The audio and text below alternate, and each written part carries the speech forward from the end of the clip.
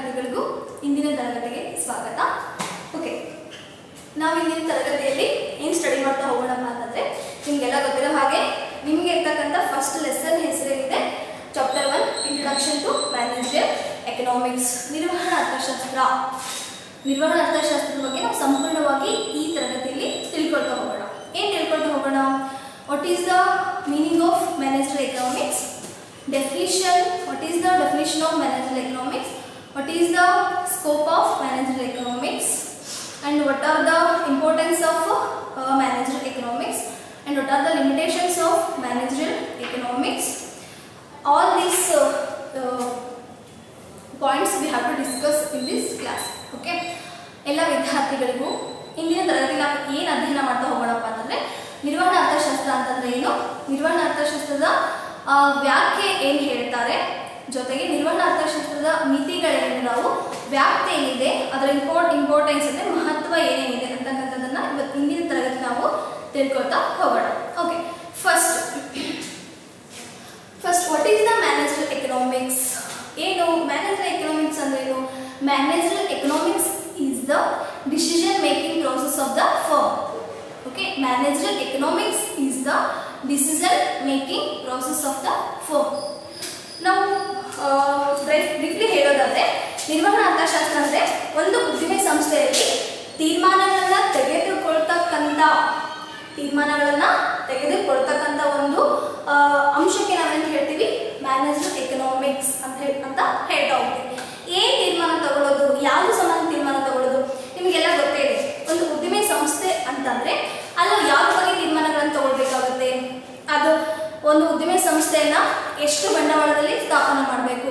First okay next ಎರಡನೇದು ಅಲ್ಲಿ ಯಾವ ರೀತಿ ಕಾರ್ಮಿಕರನ್ನ ನೇಮಕ ಮಾಡ್ಕೋಬೇಕು ಅಲ್ಲಿ ಎಂತಹ ವಸ್ತುಗಳನ್ನ ಉತ್ಪಾದನೆ ಮಾಡಬೇಕು ಆ ವಸ್ತುಗಳನ್ನ ಯಾವ ವಿಧಾನವನ್ನ ಬಳಸಿ ಉತ್ಪಾದನೆ ಮಾಡಬೇಕು ಜೊತೆಗೆ ಆ ವಸ್ತುಗಳಿಗೆ ಬೆಲೆಯನ್ನ ಯಾವ ರೀತಿ ನಾವು ನಿಗದಿ ಮಾಡಬೇಕು ಆ ವಸ್ತುಗಳ ಗುಣಮಟ್ಟ ಯಾವ ರೀತಿ ಇರಬೇಕು ಅಂತಕ್ಕಂಥ ಎಲ್ಲದನ್ನು ನಾವೇನ್ ಮಾಡ್ಬೇಕಲ್ಲಿ ಒಂದು ನಿರ್ಧಾರಗಳನ್ನ ನಿರ್ಣಯಗಳನ್ನ ತೆಗೆದುಕೊಳ್ಬೇಕಾಗುತ್ತೆ ಸೊ ಆ ನಿರ್ಣಯಗಳನ್ನ ತೆಗೆದುಕೊಳ್ಬೇಕಾದ್ರೆ ನಾವು ನಮಗೆ ಅನುಕೂಲ ಆಗ್ತಕ್ಕಂಥದ್ದು ಏನಪ್ಪಾ ಅಂದ್ರೆ ನಿರ್ವಹಣೆ ಅರ್ಥಶಾಸ್ತ್ರ. ಈ ನಿರ್ವಹಣೆ ಅರ್ಥಶಾಸ್ತ್ರವನ್ನು ನಾವು ಅಧ್ಯಯನ ಮಾಡೋದ್ರಿಂದ ಒಂದು ಉದ್ದಿಮೆ ಸಂಸ್ಥೆಯಲ್ಲಿ ನಾವು ಯಾವ್ಯಾವ ತರ ನಿರ್ಣಯಗಳನ್ನ ತೆಗೆದುಕೊಳ್ಳಬೇಕು ಅನ್ನೋದ್ರ ಬಗ್ಗೆ ನಮ್ಗೆ ಏನಾಗುತ್ತೆ? ತಿಳುವಳಿಕೆ, ಜ್ಞಾನ ಅಂತಕ್ಕಂಥದ್ದು ಮುಟ್ತಾ ಹೋಗುತ್ತೆ. ಸೊ ಹಾಗಾಗಿ this is the most important to to the producers to know to know the, what is know the uh, managerial economics okay ಇದನ್ನ ನಾವು ಮೀನಿಂಗ್ ಅಲ್ಲಿ ಹೇಳ್ತಾ ಹೋದ್ರೆ ಉದ್ದಿಮೆ ಸಂಸ್ಥೆಗಳ ನಿರ್ವಹಣೆಗೆ ಸಂಬಂಧಿಸಿದಂತೆ ಉದ್ದಿಮೆ ಸಂಸ್ಥೆಗಳ ನಿರ್ವಹಣೆಗೆ ಸಂಬಂಧಿಸಿದಂತೆ ತೀರ್ಮಾನಗಳನ್ನು ಕೈಗೊಳ್ಳುವ ಪ್ರಕ್ರಿಯೆಗೆ ಅರ್ಥಶಾಸ್ತ್ರದ ತತ್ವಗಳನ್ನು ಮತ್ತು ವಿಧಾನಗಳನ್ನು ಅನ್ವಯಿಸುವುದೇ ನಿರ್ವಹಣೆಯ ಅರ್ಥಶಾಸ್ತ್ರವಾಗಿದೆ. ಅರ್ಥ ಆಯ್ತಾ ಏನು? ಉದ್ದಿಮೆ ಸಂಸ್ಥೆಗಳ, ಒಂದು ಉದ್ದಿಮೆ ಸಂಸ್ಥೆಯನ್ನು ನಾವು ನಿರ್ವಹಣೆ ಮಾಡಬೇಕಂದ್ರೆ ನಾವು ಅರ್ಥಶಾಸ್ತ್ರಕ್ಕೆ ಸಂಬಂಧಪಟ್ಟವರಿಗೆ ಯಾವ ಥರ ತತ್ವಗಳನ್ನು ಅದಕ್ಕೆ ಅಪ್ಲೈ ಮಾಡಬೇಕು, ಅನ್ವಯ ಮಾಡಬೇಕು. ಏನು ತತ್ವಗಳಂದ್ರೆ ಈಗ ಬೆಲೆ ನಿಮಗೆ ಗೊತ್ತೇ. ಬೇಡಿಕೆ ಸಿದ್ಧಾಂತ ನಮಗೆ ಏನು ಹೇಳುತ್ತೆ? ಯಾವಾಗ ಬೆಲೆ ಜಾಸ್ತಿ ಆಗುತ್ತಲ್ಲ, ಅವಾಗ ಬೇಡಿಕೆ ಏನಾಗುತ್ತೆ ಕಡಿಮೆ ಆಗುತ್ತೆ ಹೌದಾ ಅದೇ ಥರ ಯಾವಾಗ ಬೆಲೆ ಕಡಿಮೆ ಆಗುತ್ತಲ್ಲ ಅವಾಗ ಬೇಡಿಕೆ ಏನಾಗುತ್ತೆ? ಹೆಚ್ಚಾಗುತ್ತೆ. ಇದನ್ನ ಫಸ್ಟ್ ಯಾರು ತಿಳ್ಕೊಂಡಿರ್ಬೇಕು? ಅಂದ್ರೆ ಒಬ್ಬ ಉದ್ದಿಮೆ ಸಂಸ್ಥೆಯ ಮಾಲೀಕ ತಿಳ್ಕೊಂಡಿರ್ಬೇಕು. ಹೌದಾ? ಈ ತರ ಆಗ್ತಕ್ಕಂಥದ್ದನ್ನ ಯಾರು ತಿಳ್ಕೊಂಡಿರ್ಬೇಕು? ಒಬ್ಬ ಉದ್ದಿಮೆ ಸಂಸ್ಥೆಯ ಮಾಲೀಕ ತಿಳ್ಕೊಂಡಿರ್ಬೇಕು. ಆ ತರ ತಿಳ್ಕೊಂಡಾಗ ಏನಾಗುತ್ತೆ? ಅವನು ಎಷ್ಟು ವಸ್ತು ಉತ್ಪಾದನೆ ಮಾಡಬೇಕು? ಎಷ್ಟು ಬೆಲೆಗೆ ಉತ್ಪಾದನೆ ಮಾಡಿ ಎಷ್ಟು ಬೆಲೆಗಳನ್ನ ಮಾರಾಟ ಮಾಡಬೇಕು? ಎಷ್ಟು ಲಾಭವನ್ನ ಗಳಿಸ್ಬೇಕು? ಅನ್ನೋದ್ರ ಜೊತೆಗೆ ಅವ್ನಿಗೆ ಮೊದಲೇ ಏನಾಗುತ್ತೆ? ಒಂದು ಅಂದಾಜು ಸಿಗುತ್ತೆ. ಸೊ ಈ ಅಂದಾಜನ್ನ ತಿಳ್ಕೊಳ್ಳೋದಕ್ಕೋಸ್ಕರ ಅವ್ನು ಏನ್ ಮಾಡಬೇಕು? ನಿರ್ವಹಣಾ ಅರ್ಥಶಾಸ್ತ್ರವನ್ನು ಸ್ಟಡಿ ಮಾಡ್ತಾ ಹೋಗಬೇಕಾಗುತ್ತೆ. ಓಕೆ ಇದನ್ನ ನಾವೇನಂತ ಹೇಳ್ತೀವಿ? ನಿರ್ವಹಣಾ ಅರ್ಥಶಾಸ್ತ್ರ ಅಂತ ಹೇಳ್ತಾರೆ. ಉದ್ದಿಮೆ ಸಂಸ್ಥೆಗಳ ನಿರ್ವಹಣೆಗೆ ಸಂಬಂಧಿಸಿದ ಹಾಗೆ ತೀರ್ಮಾನಗಳನ್ನ ತೆಗೆದುಕೊಳ್ತಕ್ಕಂಥದ್ದು, ತೆಗೆದುಕೊಳ್ಳುವ ಪ್ರಕ್ರಿಯೆಗೆ ಅರ್ಥಶಾಸ್ತ್ರದ ತತ್ವಗಳನ್ನು ಅನ್ವಯಿಕೆ ಮಾಡೋದಕ್ಕೆ ನಾವೇನಂತ ಹೇಳ್ತೀವಿ? ನಿರ್ವಹಣೆಯ ಅರ್ಥಶಾಸ್ತ್ರ. ಸೊ ಈ ನಿರ್ವಹಣಾ ಅರ್ಥಶಾಸ್ತ್ರ ಅಂತಕ್ಕಂಥದ್ದು ತುಂಬಾನೇ ಇಂಪಾರ್ಟೆಂಟ್ ಒಬ್ಬ ಉದ್ದಿಮೆದಾರ ಇದ್ದಾನೆ, ಒಬ್ಬ ಉತ್ಪಾದಕ ಇದ್ದಾನೆ ಇದ್ರ ಬಗ್ಗೆ ಅವನಿಗೆ ಸಾಮಾನ್ಯ ಜ್ಞಾನ ಇರಲೇಬೇಕು. ಇದನ್ನ ಅವ್ನು ಎಷ್ಟು ಆಳವಾಗಿ ಅಧ್ಯಯನ ಮಾಡ್ತಾ ಹೋಗ್ತಾನಲ್ಲ, ಅಷ್ಟು ಅವನ ಕಂಪನಿಗೆ ಏನಾಗುತ್ತೆ? ನಷ್ಟವನ್ನ ತಪ್ಪಿಸ್ಕೊಳ್ತಾ ಲಾಭವನ್ನು ಅವನು ಏನ್ ಮಾಡ್ತಾನೆ? ಹೆಚ್ಚು ಮಾಡ್ತಾ ಹೋಗ್ತಾನೆ ಅಂತ ಹೇಳ್ಬೋದು. Okay C manager economics with the applications applications of the economic concepts theories, tools and methodologies to solve solve practical problems in a business. ಅಂದ್ರೆ ನಿರ್ವಹಣಾ ಅರ್ಥಶಾಸ್ತ್ರ ಅಂತಕ್ಕಂಥದ್ದು ಅವ- ಅಲ್ಲೇನು ಒಬ್ಬ ಉದ್ದಿಮೆದಾರ ಪ್ರಾಕ್ಟಿಕಲ್ ಪ್ರಾಬ್ಲಮ್ಸ್ ಅನ್ನ ಎದುರಿಸ್ತಾರಲ್ಲ ಏನ್ ಪ್ರಾಬ್ಲಮ್ಸ್ ಅಂದ್ರೆ ಈಗ ಬೇಡಿಕೆ ಕಡಿಮೆ ಆಗ್ಬಿಡೋದು ಈಗ ಯಾವ್ದಾದ್ರು ಒಂದು ವಸ್ತುಗಳನ್ನ ಹೆಚ್ಚು ಉತ್ಪಾದನೆ ಮಾಡ್ತಾರೆ ಅನ್ಕೊಳ್ಳಿ ಅವಾಗ ಬೇಡಿಕೆ ಆಟೋಮೆಟಿಕ್ ಕಡಿಮೆ ಆದ್ರೆ ಅಲ್ಲಿ ಏನಾಗುತ್ತೆ ಅವನಿಗೆ ನಷ್ಟ ಆಗುತ್ತೆ ಸೊ ಅಂತ ನಷ್ಟವನ್ನು ತಪ್ಪಿಸ್ಕೊಡ್ಬೇಕಂದ್ರೆ ಅವನಿಗೆ ಫಸ್ಟ್ ಏನ್ ಗೊತ್ತಿರಬೇಕು ನಿರ್ವಹಣಾ ಅರ್ಥಶಾಸ್ತ್ರದ ಬಗ್ಗೆ ಅನುದಾನ ಅವನಿಗೆ ಇರಲೇಬೇಕು. The main function the main function of business executive is decision making and forward planning mainly ಅವನಿಗೆ ಗೊತ್ತಿರಬೇಕಪ್ಪ ಅಂದರೆ ಡಿಶನ್ ಮೇಕಿಂಗ್ ಒಂದು ನಿರ್ಣಯಗಳ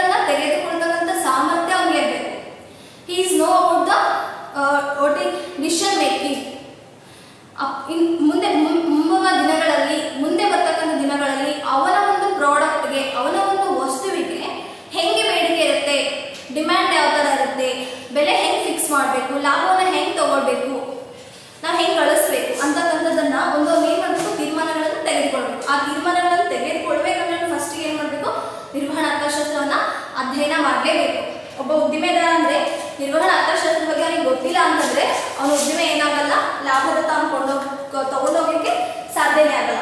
ಹಾಗಾಗಿ, ದ ತುಂಬಾ ಇಂಪಾರ್ಟೆಂಟ್ ಏನಪ್ಪ ಅಂದ್ರೆ ಒಬ್ಬ ಉದ್ಯಮದಾರರಿಗೆ ನಿರ್ವಹಣಾ ಅರ್ಥಶಾಸ್ತ್ರದ ಬಗ್ಗೆ ಸಂಪೂರ್ಣವಾಗಿ ಏನಾಗ್ಬೇಕು ಗೊತ್ತಿರ್ಲೇಬೇಕು.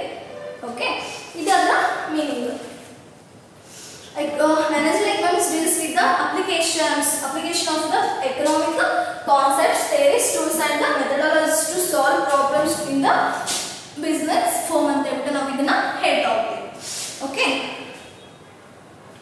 okay next we have to discuss uh, uh, what is the definitions of managerial economics this is the meaning of managerial economics and the next second point what are the definitions of managerial economics in this first we have to uh, discuss about hmm, McNair and Merriam ಇಲ್ಲಿ ನಾವು first ಏನಪ್ಪ ಅಂದ್ರೆ ನಾವು ಇವಾಗ ಅರ್ಥವನ್ನು ತಿಳ್ಕೊಂಡ್ವಿ what is manager economics manager economics is a process of decision making in the firm. Okay, what is the management economics? Management economics is the process of decision making in the firm. This is the meaning of management economics. And second point, definitions. Definitions of management economics ಇದರಲ್ಲಿ ಪ್ರಥಮವಾಗಿ ಯಾರು ಬರ್ತಾ ಇದರಲ್ಲಿ ಹಲವಾರು ಅರ್ಥಶಾಸ್ತ್ರಜ್ಞರು ಏನು ಮಾಡ್ತಾರೆ? ನಿರ್ವಹಣಾ ಅರ್ಥಶಾಸ್ತ್ರದ ಬಗ್ಗೆ ತಮ್ಮದೇ ಆಗಿರ್ತಕ್ಕಂಥ ವ್ಯಾಖ್ಯಾನಗಳನ್ನು ನೀಡ್ತಾ ಹೋಗ್ತಾರೆ. ಸೊ ಇಲ್ಲಿ ನಾವು ಕೆಲವರು ಒಂದು ವ್ಯಾಖ್ಯೆಗಳನ್ನು ತಿಳ್ಕೊಳ್ಳೋದು ತುಂಬಾ ಅಗತ್ಯ ಅಂತಾನೆ ಹೇಳ್ಬೋದು. ಅದರಲ್ಲಿ ಫಸ್ಟ್ ಒನ್ ಯಾರಪ್ಪ ಅಂತಂದ್ರೆ, ಮೆಕ್ನಾಯರ್ ಮತ್ತು ಮೆರಿಯಂ. ಇವರ ಪ್ರಕಾರ ಏನು ನಿರ್ವಹಣಾ ಅರ್ಥಶಾಸ್ತ್ರ ಅಂತಂದ್ರೆ? McNair and Merriam.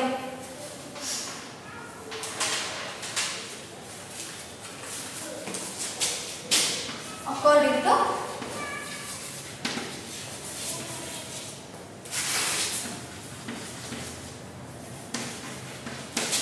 Meckler and Merriam. What is managerial economics? ಇವ್ರು ಹೇಳ್ತಾರೆ business economics consist of the use of economics models and throat to analyse manager situations ಅಂದರೆ ವ್ಯವಹಾರಿಕ ಸನ್ನಿವೇಶಗಳನ್ನು ವಿಶ್ಲೇಷಿಸಲು ಅರ್ಥಶಾಸ್ತ್ರದ ವೈಚಾರಿಕ ವಿಧಾನಗಳನ್ನು ಬಳಸುವುದೇ ಯಾವುದಪ್ಪ ಅಂದ್ರೆ ನಿರ್ವಹಣೆಯ ಅರ್ಥಶಾಸ್ತ್ರ. ಅಂದ್ರೆ ಏನು?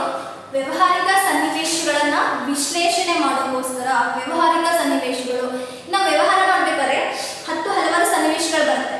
ಹೌದಾ? ಈ ಒಂದು ಆರ್ಥಿಕತೆ ಇದೆ ಅಂತಂದ್ರೆ ಎಲ್ಲಾ ಟೈಮಲ್ಲಿ ಕೂಡ ಆರ್ಥಿಕತೆ ಸ್ಟೇಬಲ್ ಆಗಿರಲ್ಲ. ಸಮ್ಟೈಮ್ಸ್ ಕೆಲವು ಸಮಯದಲ್ಲಿ ಏನಾಗುತ್ತೆ? ಆರ್ಥಿಕತೆ ಬರ್ತಕ್ಕಂಥ ಎಲ್ಲ ವಸ್ತುಗಳ ಬೆಲೆಗಳು ತುಂಬಾ ಕಡಿಮೆ ಕುಸಿತಾ ಹೋಗುತ್ತೆ. ತುಂಬಾ ಬೆಲೆಗಳು ತುಂಬಾ ಕಡಿಮೆ ಆಗ್ತಾ ಇನ್ನು ಕೆಲವು ಟೈಮಲ್ಲಿ ಏನಾಗುತ್ತೆ? ಬೆಲೆಗಳ ಪ್ರಮಾಣ ತುಂಬಾ ಜಾಸ್ತಿ ಆಗ್ತಾ ಹೋಗುತ್ತೆ.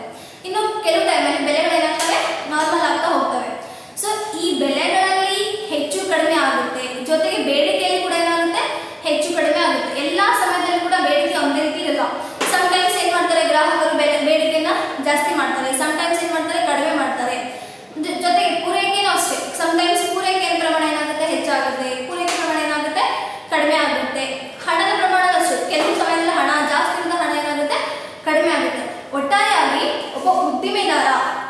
ಉದ್ದಿಮೆದಾರ ಆರ್ಥಿಕತೆಯಲ್ಲಿ ಸಂಭವಿಸ್ತಕ್ಕಂಥ ಎಲ್ಲ ಸ- ಸನ್ನಿವೇಶಗಳಲ್ಲಿ ಕೂಡ ಅವನು ಏನು ಮಾಡಬೇಕಾಗುತ್ತೆ? ಸ್ಟೇಬಲ್ ಆಗಿರ್ಬೇಕಾಗುತ್ತೆ. ಅಂದರೆ ಅಧಿಕವಾಗಿ ಅವನು ಲಾಭ ತಗೊಳ್ಳೋಕ್ಕೋಸ್ಕರ ಅವನು ಏನು ಮಾಡುತ್ತೆ ಹಾತೊರಿತಾ ಇರಬೇಕಾಗುತ್ತೆ ಸೊ ಹಂಗೆ ಹಾತೊರಿಬೇಕಾದ್ರೆ ನಾವೇನು ಮಾಡಬೇಕು ಯಾವ ಥರ ನಿರ್ಧಾರಗಳನ್ನು ತೆಗೆದುಕೊಳ್ಬೇಕು ಮುಂಬರುವ ದಿನಮಾನಗಳಲ್ಲಿ ಬೇಡಿಕೆ ಪ್ರಮಾಣ ತುಂಬ ಕಡಿಮೆ ಆದರೆ ಬೆಲೆ ಪ್ರಮಾಣ ತುಂಬ ಕಡಿಮೆ ಆದರೆ ಅದು ನಾವು ಹೆಂಗೆ ಸ್ಟೇಬಲ್ ತಗೊಂಡಿರ್ಬೇಕು ಅಂದರೆ ನಾವು ಏನು ಬೇಡಿಕೆ ಕಡಿಮೆ ಆಗಿದೆ ಅಂತ ಹೇಳ್ಬಿಟ್ಟು ಲಾಸ್ ಆಗುತ್ತೆ ಅಂತ ಹೇಳ್ಬಿಟ್ಟು ಕಂಪ್ನಿಯನ್ನ ಮುಚ್ಚೋದಲ್ಲ ಹೆಂಗೆ ಇದ್ರು ಕೂಡ ನಾವು ಏನು ಮಾಡಬೇಕು ಕಂಪ್ನಿಯನ್ನ ರನ್ನಿಂಗಲ್ಲಿ ಇರಬೇಕು ಅದೇ ರನ್ನಿಂಗಲ್ಲಿ ಇರಬೇಕಂದ್ರೆ ನಾವು ಏನು ಮಾಡಬೇಕು ಫಸ್ಟ್ ಎಲ್ಲದಕ್ಕೂ ರೆಡಿ ಆಗಿರಬೇಕು ಅಂದರೆ ನಾವು ಯಾವುದೂ ಲಾಸ್ ಆಗಿದೆಯೋ ಅಂತ ಹೇಳ್ಬಿಟ್ಟು ಕಂಪ್ನಿ ಕ್ಲೋಸ್ ಮಾಡಿ ಬೇರೆ ಬೇರೆ ಮಾಡಿದ್ರೆ ಏನಾಗುತ್ತೆ ಅಲ್ಲಿ ಪ್ರಾಬ್ಲಮ್ ಆಗುತ್ತೆ ಸೊ ಆ ಥರ ನಾವು ಏನು ಮಾಡಬಾರ್ದು ಉದ್ದಿಮೆದಾರ ಪ್ರಾಬ್ಲಮ್ಸ್ಗಳನ್ನು ತಂದ್ಕೊಳ್ಬಾರ್ದು ಎಂಥ ಸಮಯದಲ್ಲಿ ಕೂಡ ನಾವು ಏನಾಗಿರಬೇಕು ಸ್ಟೇಬಲ್ ಆಗಿರಬೇಕು ಅದು ಸ್ಟೇಬಲ್ ಆಗಿರ್ಬೇಕಂದ್ರೆ ಫಸ್ಟ್ ಏನು ಮಾಡಬೇಕು ಈ ಒಂದು ನಿರ್ವಹಣಾ ಅರ್ಥಶಾಸ್ತ್ರವನ್ನು ತಿಳ್ಕೋಬೇಕು ಒಟ್ಟಾರೆಯಾಗಿ ಮೆಕ್ನಾಯರ್ ಮತ್ತು ಮೆರಿಯಲ್ ಅವರ ಪ್ರಕಾರ ವ್ಯವಹಾರದ ಸನ್ನಿವೇಶಗಳನ್ನು ವಿಶ್ಲೇಷಣೆ ಮಾಡೋದಕ್ಕೋಸ್ಕರ ಅರ್ಥಶಾಸ್ತ್ರದ ವೈಚಾರಿಕ ವಿಧಾನಗಳನ್ನು ಬಳಸುವುದಕ್ಕೆ ಅವ್ರು ಏನ್ ಹೇಳ್ತಾರೆ? ನಿರ್ವಹಣೆಯ ಅರ್ಥಶಾಸ್ತ್ರ ಅಂತ ಹೇಳ್ತಾ ಹೋಗ್ತಾರೆ. Business economics consist of the use of economic models what are the uses of economics models of throughout the analyse of manager situations ಅಂದರೆ ಮ್ಯಾನೇಜರ್ ಸಿಚುವೇಶನ್ಗಳಲ್ಲಿ ನಾವು ಅರ್ಥಶಾಸ್ತ್ರವನ್ನು ಹೆಂಗೆ ಅನ್ವಯ ಮಾಡಬೇಕು, ಯಾವ ಥರ ಅಪ್ಲೈ ಮಾಡ್ಕೋಬೇಕು, ಯಾವ ಥರ ನಷ್ಟವನ್ನು ಅನುಭವಿಸೋದ್ರಿಂದ ನಾವು ದೂರ ಉಳಿತಾ ಹೋಗಬೇಕು ಅನ್ನೋದನ್ನು ತಿಳಿಸೋದು ಯಾವುದನ್ನೇ ನಿರ್ವಹಣೆ ಅರ್ಥಶಾಸ್ತ್ರ ಅಂತ ಹೇಳ್ಬಿಟ್ಟು ಯಾರು ಹೇಳ್ತಾರೆ ಮೆಕ್ನಾಯರ್ ಅಂಡ್ ಮೆರಿಯಮ್ ಅವ್ರು ಏನು ಮಾಡ್ತಾರೆ ಇಲ್ಲಿ ನಮಗೆ ತಿಳಿಸ್ತಾ ಹೋಗ್ತಾರೆ ಅಂತ ಹೇಳ್ಬೋದು ಇದು ಎರಡನೇದು, ಮೆಕ್ನಾಯರ್ ಮತ್ತು ಮೆರಿಯಮ್ ಅವರ ಪ್ರಕಾರ. ಓಕೆ ಫಸ್ಟ್ ಒಂದು, ನಿಮಗೆ ಗೊತ್ತಿದೆ ಡಿಸಿಷನ್ ಮೇಕಿಂಗ್ ಪ್ರಾಸೆಸ್ಗೆ ನಾವೇನಂತ ಹೇಳ್ತೀವಿ? ಮ್ಯಾನೇಜರ್ ಎಕನಾಮಿಕ್ಸ್ ಅಂತ ಹೇಳ್ತಾ ಹೋಗ್ತೀವಿ. ಇನ್ನು ಸೆಕೆಂಡ್ ಅಲ್ಲಿ ನಾವೇನು ಹೇಳ್ತೀವಿ? ಡೆಫಿನೇಷನ್ ಅಲ್ಲಿ ಫಸ್ಟ್ ಒಂದು ಬರ್ತಾರೆ ಯಾರು? ಮೆಕ್ನಾಯರ್ ಮತ್ತು ಮೆರಿಯಮ್. ಅವ್ರ ಪ್ರಕಾರ business economics consist of the use of economics models of throat the business process ಅಂದರೆ ಬಿಸ್ನೆಸ್ ಪ್ರಾಸೆಸ್ ಅಲ್ಲಿ ನಾವು ಏನು ಮಾಡಬೇಕಾಗುತ್ತಪ್ಪ ಅಂತಂದ್ರೆ ಅರ್ಥಶಾಸ್ತ್ರ ತತ್ವಗಳನ್ನ ಅದಕ್ಕೆ ಅನ್ವಯ ಮಾಡಬೇಕಾಗುತ್ತೆ ಅಪ್ಲೈ ಮಾಡಬೇಕಾಗುತ್ತೆ. ಸೊ ಯಾವ್ದ್ರ ಅಪ್ಲೈ ಮಾಡಬೇಕು ಅನ್ನೋದನ್ನ ತಿಳಿಸೋದೇ ಯಾವುದು? ನಿರ್ವಹಣೆ ಅರ್ಥಶಾಸ್ತ್ರ ಅಂತ ಹೇಳ್ಬಿಟ್ಟು ಹೇಳ್ತಾ ಹೋಗ್ತಾರೆ. ಓಕೆ ಇನ್ನು ಅದೇ ತರ ನಾವು ಎರಡನೇ ಇದು. ಎರಡನೇ ಅರ್ಥಶಾಸ್ತ್ರಜ್ಞರು ಯಾರು ಹೇಳ್ತಾ ಹೋಗ್ತಾರಪ್ಪ ಅಂತಂದ್ರೆ. ಮಿಲ್ಟನ್ ಹೆಚ್ಚು. ಇವಾಗ ನಾವು ಮೊದಲನೇದಾಗಿ ಫಸ್ಟ್ಗೆ ಒಂದು ವ್ಯಾಖ್ಯಾನ ನೋಡ್ತೀವಿ ಓಕೆ ಇವಾಗ ನಾವು ಎರಡನೇ ವ್ಯಾಖ್ಯಾನ ನೋಡ್ತಾ ಹೋಗೋಣ ಎರಡನೇ ವ್ಯಾಖ್ಯೆ ಕೊಟ್ಟವ್ರು ಯಾರಪ್ಪ ಅಂದರೆ James Bates and J R Parkinson James Bates ಮತ್ತು ಜರ್ ಪಾರ್ಕಿನ್ಸನ್ ಅವರವರು ಅವರದೇ ಆಗಿರ್ತಕ್ಕಂಥ ವ್ಯಾಖ್ಯೆಗಳನ್ನು ಕೊಡ್ತಾ ಹೋಗ್ತಾರೆ ನಿರ್ವಹಣಾ ಅರ್ಥಶಾಸ್ತ್ರದ ಬಗ್ಗೆ ಅವರದೇ ಆಗಿರ್ತಕ್ಕಂಥ ಆ, ಮನೋಭಾವದಲ್ಲಿ ಏನು ನಿರ್ವಹಣಾ ಅರ್ಥಶಾಸ್ತ್ರ ಅಂತ ನಮಗೆ ತಿಳಿಸ್ತಾ ಹೋಗ್ತಾರೆ ಓಕೆ ಅವ್ರು ಏನು ಹೇಳ್ತಾರೆ ನಿರ್ವಹಣಾ ಅರ್ಥಶಾಸ್ತ್ರ ಅಂತಂದರೆ ಓಕೆ ಅವರು ನಿರ್ವಹಣೆ ಅರ್ಥಶಾಸ್ತ್ರವು ಉದ್ದಿಮೆ ಸಂಸ್ಥೆಗಳು ತಾತ್ವಿಕವಾಗಿ ಮತ್ತು ವಾಸ್ತವಿಕವಾಗಿ ಹೇಗೆ ವರ್ತಿಸುತ್ತವೆ ಎನ್ನುವುದನ್ನು ಅಧ್ಯಯನ ಮಾಡುತ್ತದೆ ಏನು ನಿರ್ವಹಣೆ ಅರ್ಥಶಾಸ್ತ್ರ ಅಂತಕ್ಕಂಥದ್ದು. ಉದ್ದಿಮೆ ಸಂಸ್ಥೆಗಳು ತಾತ್ವಿಕವಾಗಿ ಮತ್ತು ವಾಸ್ತವಿಕವಾಗಿ ಹೇಗೆ ವರ್ತನೆ ಮಾಡ್ತವೆ? ತತ್ವನೇ ಬೇರೆ, ವಾಸ್ತವನೇ ಬೇರೆ. ತತ್ವ ಎಲ್ಲ ವಾಸ್ತವ ಆಗಲ್ಲ. ಹೌದಾ? ನಾವು ಹಂಗಿರ್ಬೇಕು, ಗಾಂಧೀಜಿ ಅವ್ರ ಇರಬೇಕು ಅಂತ ಅನ್ಕೊಳ್ತೀವಿ, ಬಟ್ ಹಂಗಿರಕ್ಕಾಗತ್ತಾ ಆಗಲ್ಲ. ಸೊ ಜೇಮ್ಸ್ ಬೆಟ್ಸ್ ಮತ್ತು ಪಾಕಿನ್ಸನ್ ಅವ್ರು ಏನು ಹೇಳ್ತಾ ಹೋಗ್ತಾರೆ ಅಂದ್ರೆ, ನಿರ್ವಹಣಾ ಅರ್ಥಶಾಸ್ತ್ರ ಅರ್ಥಶಾಸ್ತ್ರ ಅಂತಕ್ಕಂಥದ್ದು ಉದ್ದಿಮೆ ಸಂಸ್ಥೆಯ ತತ್ವಕ್ಕೂ ವಾಸ್ತವಕ್ಕೂ ಏನು ಡಿಫ್ರೆನ್ಸ್ ಇದೆ ಅನ್ನೋದನ್ನ ನಮಗೆ ಅರ್ಥ ಮಾಡಿಸೋದು ಯಾವುದು ಅಂತಂದ್ರೆ ನಿರ್ವಹಣೆ ಅರ್ಥಶಾಸ್ತ್ರ ಅಂತ ಹೇಳ್ತಾ ಹೋಗ್ತೀವಿ. ಇದು ನಾವು ಕಂಪ್ಲೀಟ್ ಆಗಿ ನಿಮಗೆ ಇದು ಹೇಳಬೇಕಪ್ಪ ಅಂತಂದ್ರೆ ನಿರ್ವಹಣೆ ಅರ್ಥಶಾಸ್ತ್ರವು ಉದ್ದಿಮೆ ಸಂಸ್ಥೆಗಳು ತಾತ್ವಿಕವಾಗಿ ಮತ್ತು ವಾಸ್ತವಿಕವಾಗಿ ಹೇಗೆ ವರ್ತಿಸುತ್ತವೆ ಎಂಬುದನ್ನ ಅಧ್ಯಯನ ಮಾಡುತ್ತದೆ. ಜೊತೆಗೆ ಉದ್ದಿಮೆ ಸಂಸ್ಥೆಗಳು ಕೆಲಮಟ್ಟಿಗೆ ತಾಂತ್ರಿಕತೆ, ಮಾರುಕಟ್ಟೆ, ಆರ್ಥಿಕ ರಚನೆ, ಸಂಘಟನೆ, ಅಭಿಲಾಷೆ, ಅಭಿರುಚಿ ಇವೇ ಮೊದಲಾದವುಗಳಲ್ಲಿನ ಬದಲಾವಣೆಗಳಿಗೆ ಹೇಗೆ ಪ್ರತಿಕ್ರಿಯ, ಪ್ರತಿಕ್ರಿಯಿಸುತ್ತವೆ ಮತ್ತು ಅವು ಬದಲಾವಣೆಗಳನ್ನು ತಾವೇ ಹೇಗೆ ಉಂಟು ಮಾಡುತ್ತವೆ ಎಂಬುದನ್ನ ಅಧ್ಯಯನ ಮಾಡೋದಕ್ಕೆ ನಾವೇನು ಹೇಳ್ತೀವಿ ನಿರ್ವಹಣೆಯ ಅರ್ಥಶಾಸ್ತ್ರ ಅಂತ ಹೇಳಿ ಇದನ್ನು ಹೇಳ್ತಾರೆ ಯಾರು? Bates James Bates and J R Parkinson okay ಅದನ್ನು ನಾವು ಇಂಗ್ಲೀಷಲ್ಲಿ ಹೇಳೋದಾದ್ರೆ Managerial economics is the study of the behavior of firms in the theory and the practice. It is a study of the uh, firm in the behavior in the uh, theory and the practice. ತತ್ವಕ್ಕೂ ಮತ್ತು practice ಅಂದ್ರೆ ವಾಸ್ತವಕ್ಕೂ ಎಷ್ಟು ವ್ಯತ್ಯಾಸ ಇದೆ ಅಂತಕ್ಕಂಥದ್ದನ್ನ ತಿಳಿಸೋದು ಯಾವುದಪ್ಪ E ಈ management economics ಅಂತ ಹೇಳ್ಬೋದು ಜೊತೆಗೆ it is to some extent a study of the way in which forms behave to response to the change changes of techniques markets economic structures organizations habits and tastes and how they themselves bring about the changes andre ಈಗ ಒಂದು ಉದ್ದಿಮೆ ಸಂಸ್ಥೆ ಇದೆ ಅಂದ್ರೆ ಅದು starting ಅಲ್ಲಿ ಆ, ಆ, ಆ, ಒಂದು ಉದ್ದಿಮೆ ಸಂಸ್ಥೆ ಸ್ಥಾಪನೆ ಮಾಡಿದಾಗ ಯಾವ ಥರ ಉತ್ಪಾದನೆ ಇತ್ತೋ ನಾಲ್ಕು ವರ್ಷ ಬಿಟ್ಟು ಅದೇ ಥರ ಉತ್ಪಾದನೆ ಇರಬೇಕಂತ ಇಲ್ಲ ಅದ್ರಲ್ಲಿ ಏನಾಗುತ್ತೆ ಲಾಟ್ ಆಫ್ ಚೇಂಜಸ್ ಆಗುತ್ತೆ ತುಂಬಾ ಬದಲಾವಣೆಗಳು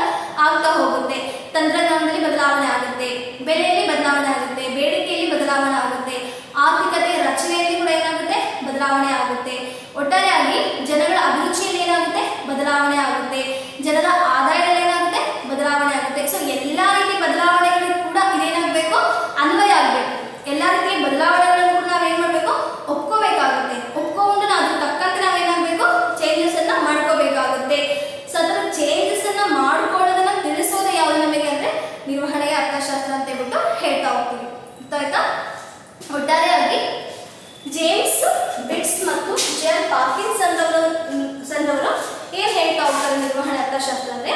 ನಿರ್ವಹಣೆ ಅರ್ಥಶಾಸ್ತ್ರ ಅಂತಕ್ಕಂಥದ್ದು ತತ್ವಕ್ಕೂ ಮತ್ತು ವಾಸ್ತವಕ್ಕೂ ಇರ್ತಕ್ಕಂಥ ಒಂದು ವ್ಯತ್ಯಾಸವನ್ನು ನಮಗೆ ಏನ್ ಮಾಡುತ್ತೆ? ತಿಳಿಸ್ಕೊಡ್ತಾ ಹೋಗುತ್ತೆ.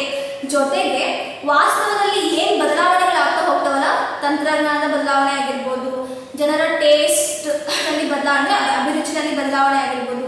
ಜನರ ಆದಾಯದಲ್ಲಿ ಬದಲಾವಣೆ ಆಗಿರ್ಬೋದು, ಮಾರುಕಟ್ಟೆ ರಚನೆಯಲ್ಲಿ ಬದಲಾವಣೆಗಳಾಗಿರ್ಬೋದು, ಈ ಎಲ್ಲ ಬದಲಾವಣೆಗಳಿಗೆ ಏನು ಮಾಡಬೇಕು? ಒಬ್ಬ ಉದ್ದಿಮೆದಾರ ಒಗ್ಗಿಕೊಳ್ಬೇಕು ಒಬ್ಬ ಉದ್ದಿಮೆದಾರರನ್ನು ಅವುಗಳನ್ನು ಸ್ವೀಕರಿಸಬೇಕು. ಸ್ವೀಕರಿಸಿ ಅವನು ಏನು ಮಾಡಬೇಕು? ಲಾಭವನ್ನ ಯಥೇಚ್ಛವಾಗಿ ಗಳಿಸ್ತಾ ಹೋಗ್ಬೇಕು. ಸೊ ಲಾಭವನ್ನ ಗಳಿಸಬೇಕಾದ್ರೆ ಅವನು ಯಾವ ತರ ನಿರ್ಣಯಗಳನ್ನ ತೆಗೆದುಕೊಳ್ಬೇಕು ಅನ್ನೋದನ್ನ ತಿಳಿಸೋದು ಯಾವುದಪ್ಪ ಅಂತಂದ್ರೆ, ಈ ನಿರ್ವಹಣೆ ಅರ್ಥಶಾಸ್ತ್ರ ಅಂತ ಹೇಳ್ತಾ ಹೋಗ್ತೀವಿ. ಒಂದ್ಸರ್ಗೆ ಹೇಳ್ತೀನಿ. Manager economics is the study of forms in the theory of practice and the, the theory and the practice okay? Then it is to some extent a study of the way, way in which forms behave in response to changes their techniques techniques response to changes their uh, way of uh, products uh, techniques markets economic structures organizations habits and tastes and how they themselves bring uh, changes.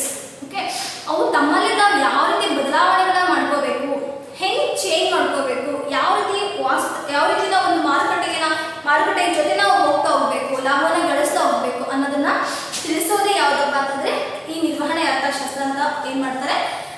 James Bates ಮತ್ತು Parkinson ಅವರು ಹೇಳ್ತಾ ಹೋಗ್ತಾರೆ. Okay ನಾವು ಇವಾಗ ಏನ್ ಮಾಡಿದ್ವಿ? ಒಂದು ಅರ್ಥ ನೋಡಿದ್ವಿ. ಎರಡನೇದು ಏನಪ್ಪ ಅಂತಂದ್ರೆ ಡೆಫಿನಿಷನ್ ಅಲ್ಲಿ ಇಬ್ರು ಇರತಕ್ಕಂಥ ಇರ್ತಕ್ಕಂಥ ಡೆಫಿನಿಷನ್ ಅನ್ನ ನೋಡ್ತಾ ಹೋಗ್ತೀವಿ ಫಸ್ಟ್ ಒನ್ ಡೆಫಿನಿಷನ್ ಯಾರು ಕೊಟ್ಟಿದ್ದು?